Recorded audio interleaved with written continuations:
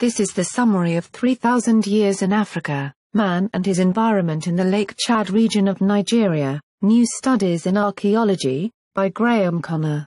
The Lake Chad region of Nigeria is an extreme environment, virtually treeless sand and a broiling clay plain in the fierce heat of the dry season, then much of it inundated and impassable in the wet season as whole areas turn into shallow lakes or marsh.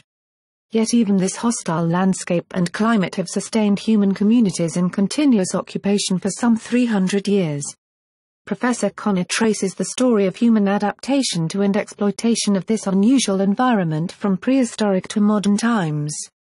He presents a natural history of man in the region, based largely on archaeological data but drawing also on written evidence, ethnography and oral tradition to reconstruct human history and experience in this largely unknown area.